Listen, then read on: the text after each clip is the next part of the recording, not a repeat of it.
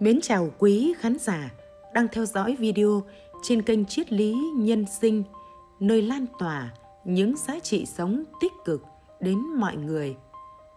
Bạn thân mến, ngoại tình dường như là một vấn nạn của gia đình thời hiện đại. Ông ăn trà thì bà cũng ăn nem. Thông thường, người đàn ông ngoại tình vì sắc, còn người phụ nữ ngoại tình vì thiếu thốn tình cảm. Dù là lý do nào đi chăng nữa, ngoại tình là một hành động đầy tội lỗi với người chung chăn gối với mình. Đàn ông có vợ ngoại tình là một điều ô nhục lớn đối với họ. Theo tử vi, khả năng ngoại tình của bốn con giáp nữ dưới đây khá cao. Nếu vợ hay người yêu của mình thuộc con giáp này và có tính cách mô tả thì bạn nên xem xét lại mối quan hệ của hai bạn. Tránh về già, phải bị cắm sừng lúc nào không hay. Một, phụ nữ tuổi ngọ. Ngựa có tính cách khá nổi trội, đó là nhanh nhẹn, hoạt bát. Họ ưa di chuyển, thích sự tự do và rất khó chịu với việc phải ngồi yên một chỗ. Khả năng quan sát của họ cũng khá nhanh nhạy xét về chuyện tình yêu đôi lứa, họ dễ rơi vào lưới tình. Họ dễ yêu và mối tình của họ cũng diễn ra khá chóng vánh trước khi tìm được người phù hợp để sống lâu dài.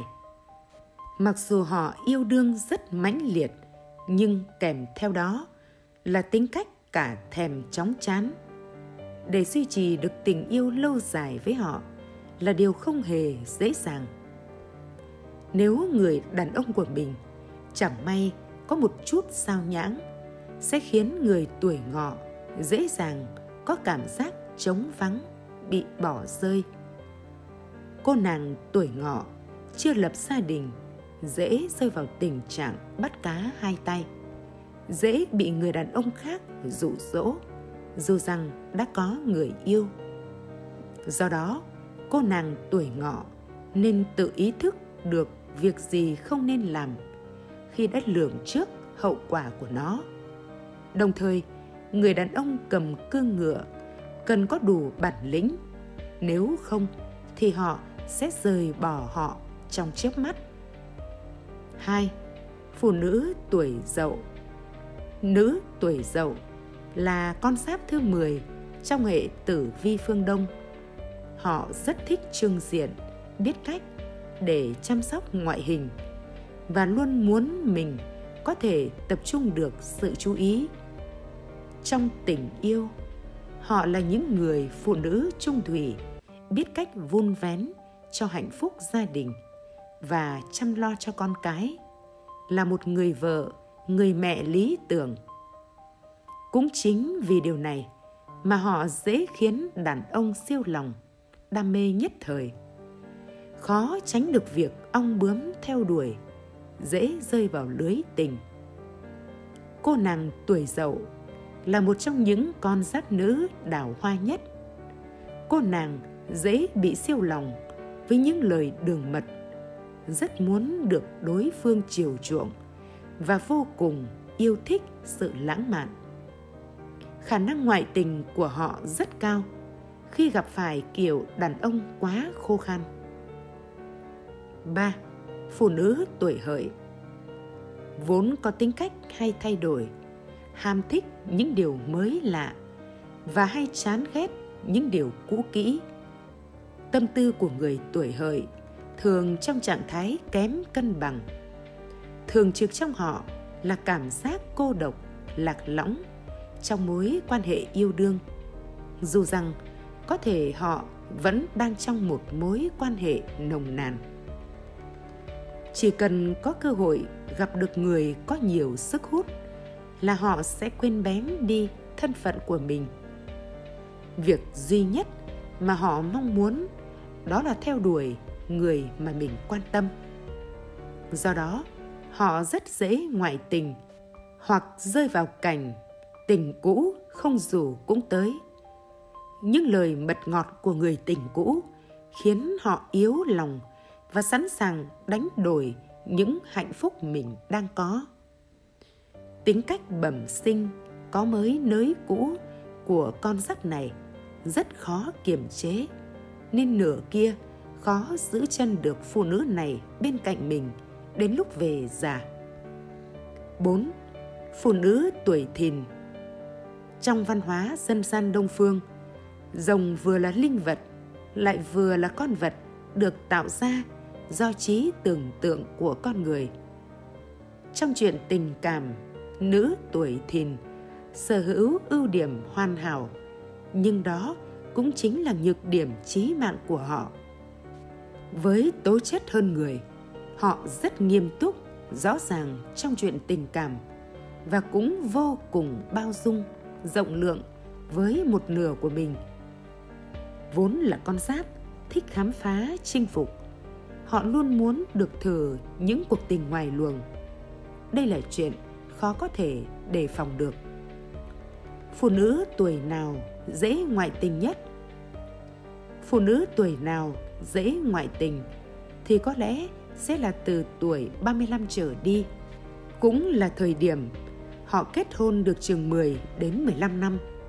Lúc này, đa phần cuộc sống của chị em đã ổn định. Công việc thăng tiến, kinh tế tự chủ, con cái đã lớn. Điều này đồng nghĩa với việc người phụ nữ có nhiều thời gian hơn cho bản thân của mình. Không những vậy, trong thời điểm này, nhiều phụ nữ đang bước vào thời kỳ hồi xuân, các loại hormone trong cơ thể bắt đầu thay đổi, kèm theo việc tình cảm gia đình hay tình cảm vợ chồng không còn được mặn nồng như những ngày đầu. Những người phụ nữ bắt đầu tìm kiếm cho mình niềm vui mới để mong muốn quay lại những ngày tháng còn trẻ được cưng chiều và thỏa mãn dục vọng của mình. Những lý do phụ nữ ngoại tình. Phụ nữ thường có tính trung thủy, gắn bó nhiều hơn đàn ông. Tuy nhiên, họ cũng rất yếu lòng và dễ tổn thương khi thiếu mất đi chỗ dựa tinh thần hoặc họ không làm chủ được cảm xúc thì ý tưởng ngoại tình sẽ dễ xảy ra dưới đây là 7 lý do dẫn đến việc phụ nữ phản bội người đàn ông của mình. Một, không vượt qua được xúc cảm cá nhân. Tình yêu vợ chồng nguội lạnh có thể làm phụ nữ dễ mùi lòng trước những hành động quan tâm từ một người đàn ông khác. Cảm xúc là một thứ không thể điều khiển. Tuy nhiên, những người phụ nữ không giữ được cảm xúc cá nhân mà lại nảy sinh tình cảm với đối tượng khác họ không còn thắng được những lý trí phải giữ gìn hạnh phúc gia đình mà lại rơi vào những cảm xúc ngoài luồng mà đáng ra không nên có hai, nỗi thất vọng không ít người phụ nữ kỳ vọng rất cao vào người chồng mà mình đang đầu ấp, tay gối hàng ngày nhưng khi người đàn ông của họ có những biểu hiện hoặc không thể đáp ứng được những gì họ không mong muốn, thì sẽ làm họ nảy sinh tâm lý thất vọng và chán nản vì một mình họ phải gồng gánh cả gia đình trên vai. Thông thường, trường hợp này sẽ gặp ở những cặp vợ chồng cưới nhau quá sớm. Người chồng còn ham chơi, chưa tu trí làm ăn hoặc xảy ra ở những cặp ở thời kỳ giữa người chồng không có chí tiến thủ trong công việc hay quá nghe lời mẹ khiến người phụ nữ ngột ngạt ngay trong mối quan hệ của mình nỗi thất vọng dồn lại đủ lớn khiến họ nảy sinh ham muốn được chăm sóc và đáp ứng những nhu cầu của bản thân hay cũng chỉ là những lời quan tâm và sự hào nhoáng từ người đàn ông khác lại khiến họ rung động vì đấy có lẽ là gu người đàn ông mà họ luôn khao khát có được. 3. Trả đũa người bạn đời Con người có xu hướng làm tổn thương nhau, nhất là trong một mối quan hệ hôn nhân.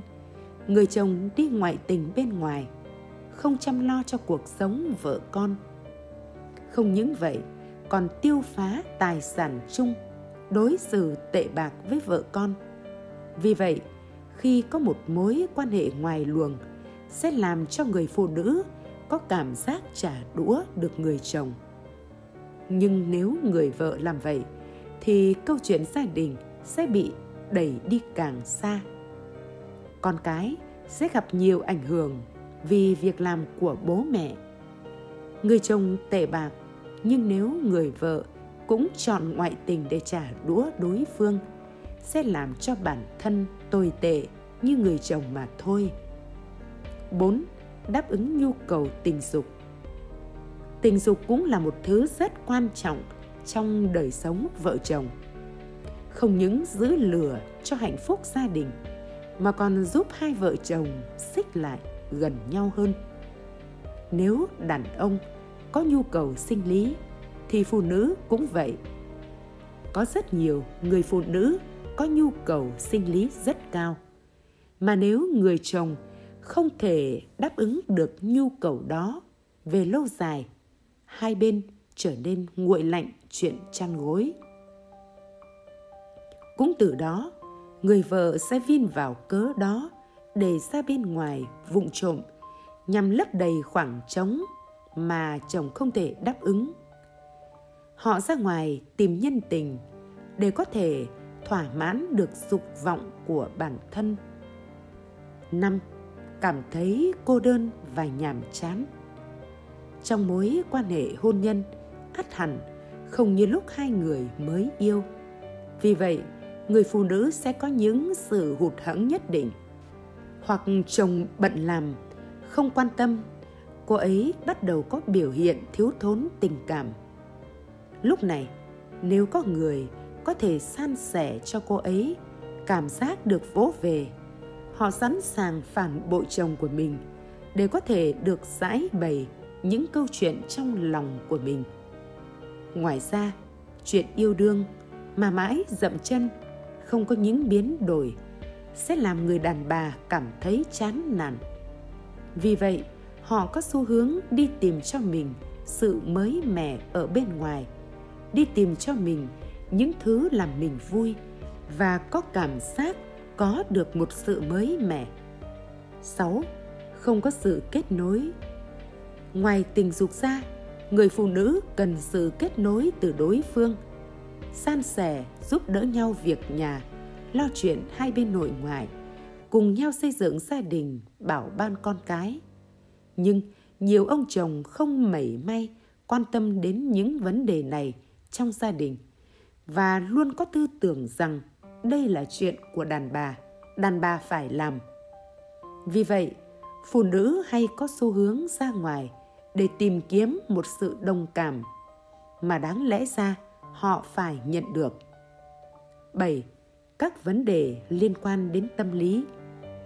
Những áp lực, stress trong cuộc sống sẽ đem đến những cảm giác tiêu cực. Lúc này, tuy có gia đình, nhưng người phụ nữ vẫn mong muốn tìm thú vui mới bên ngoài nhằm giải tỏa tâm trạng và thoát cái bóng người phụ nữ gia đình. Bốn nghề có tỷ lệ phụ nữ ngoại tình cao nhất. Theo thống kê, có bốn ngành nghề mà phụ nữ có tỷ lệ ngoại tình cao. Một, nhân viên tiếp thị bia rượu, thuốc lá. Những người phụ nữ khi làm việc trong nghề môi giới tiếp thị sự tiếp xúc với nhiều khách hàng xảy ra ở mọi nơi kể cả công sở quán cà phê thậm chí tại nhà riêng điều đó khiến người ta nhiều khi không làm chủ được cảm xúc. Không những thế, họ còn phải cố chiều lòng khách hàng. Bởi vậy, khả năng nảy sinh tình cảm với khách hàng là rất cao. Hai, phụ nữ làm nghề thư ký, trợ lý. Do đặc thù công việc, những người phụ nữ làm trợ lý, giám đốc, ngày nào cũng phải kè kè cạnh xếp như hình với bóng mỗi ngày đều nhắn tin gọi điện gặp gỡ tiếp xúc dễ khiến tình cảm nảy sinh giữa hai người. 3. phụ nữ trong ngành giải trí. Những người hoạt động trong giới giải trí thường sống thiên về cảm xúc. Khi có người đồng cảm, họ sẽ dễ dàng ngả vào vòng tay của người khác ngay lập tức. Bên cạnh đó, họ thường xuyên tiếp xúc với nhiều chàng trai lịch lãm, điển trai. Nên người phụ nữ cũng dễ bị say nắng bởi vẻ ngoài của họ. Đồng thời, do môi trường làm việc có cơ hội tiếp xúc thân thể, nên họ cũng dễ bị khơi gợi những dục vọng ở trong lòng. 4. Tiếp viên hàng không Vì tính chất công việc hay phải bay trong nước, ngoài nước, nên họ thường xuyên phải xa nhà, nên họ dễ dàng có những mối quan hệ ngoài luồng mà không lo bị phát hiện. Bạn thân mến, ngoại tình thuộc về phương diện đạo đức của mỗi con người. Tuy nhiên dù gì, một người đã có gia đình lại qua lại với một người khác cũng là một trong những việc làm sai trái và đáng lên án. Vì thế nếu đời sống gia đình có rơi vào cảnh bế tắc thì bạn hãy hết lòng cứu chữa hàn gắn. Nếu không được thì chia tay để bắt đầu một mối quan hệ mới, đường đường chính chính để không ảnh hưởng đến nhân phẩm của mình. Đến đây thì thời lượng của triết lý nhân sinh cũng xin được tạm dừng tại đây. Hy vọng video sẽ mang đến những thông tin hữu ích cho bạn. Giờ đây, chúng tôi xin kính chào và hẹn gặp lại bạn ở các video tiếp theo.